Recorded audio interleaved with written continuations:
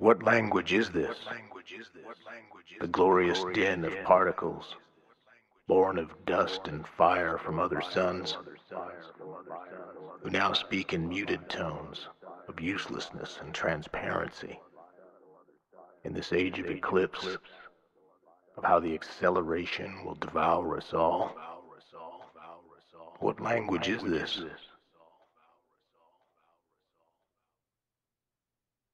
Midnight migrations of mind toward pastures of delusion, hanging halfway over the dark edge of that sheer and craggy cliff that towers high above reason. With a skull full of stars and a moon full of hearts, we weep the deadly river and drift back to its source, the headwaters of ourselves. A tenuous hold at best, reaching for the source, the source of breath. There in that wilderness, as it now remains nowhere,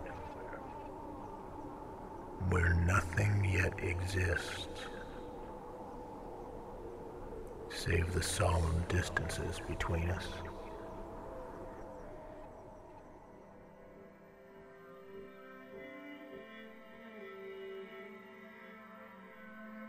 Damnation awaits these hours with silent waves. We are only visitors here, borrowing wasted time, cultivating an age of the grotesque.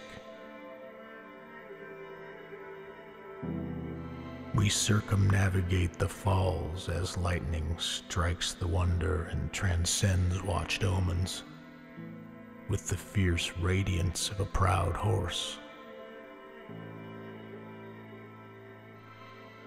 Iron and rust run through the coals to quench in oil, with a consuming hunger to rise when fires flare, inhabiting the imminent need of nature itself.